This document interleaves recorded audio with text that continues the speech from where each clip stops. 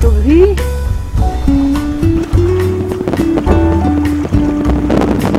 Toujours avec le Genaker. Et là-bas, la marina.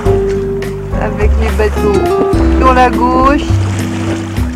Et le camping, la plage sur la droite. Mais là, elle est derrière le Genaker.